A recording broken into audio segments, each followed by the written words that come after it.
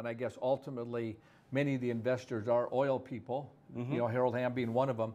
That may very, very well be the case. It's just, uh, you know, we're going to pivot and go to the next phase if that's what ended up happening. Because I guess, I mean, the science is there that it does enhance it. It's just a question to how to really optimize it. I know UND's been working on that. Uh, and so they're trying to sort through all that whole process.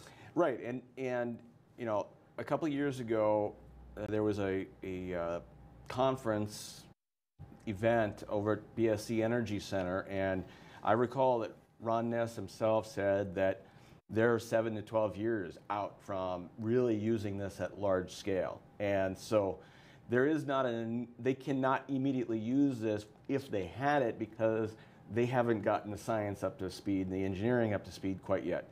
Now, the problem is, even if that's where they go next, they're going to still have to sell it, this concept of bringing the CO2 from Iowa through South Dakota because South Dakota has taken a hardline position, period. They don't, their law does not actually consider the, the different uses of it because what they did was they confined and restricted the, the definition of uh, public use and common carrier to the point where the company would have to meet a new hurdle of, of proving that this is for public good and common good.